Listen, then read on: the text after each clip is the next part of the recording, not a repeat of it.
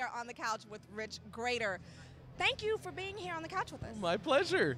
Yeah, you look awful happy to be at the Rusty Ball this year. I am very happy to be at the Rusty Ball this year since I missed it last year because I was at a you know an ice cream convention and this is a much better place to be. Now, now we was talking earlier, and it was it was considered a freezer and frozen food convention, but ice cream convention sounds more fun. It's actually refrigerated and frozen foods, but you know, it's got more.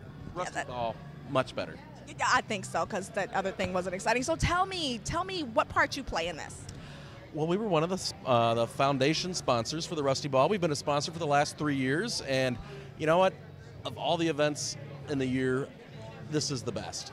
Nowhere do you have so much fun doing so much good for so many organizations. So, Rusty Ball, party on. I totally have to agree with you. What is your favorite part of the night? Is it the dancing? Is it the giveaways? Is it the raffles? What?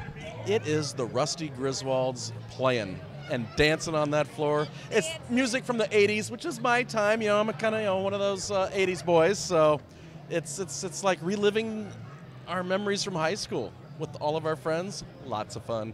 I have to totally agree with you. I mean, where else can you go for a good cause? You know, and, It's the best. and get your party on at the same time. Absolutely, right here, Rusty Ball with the Griswolds.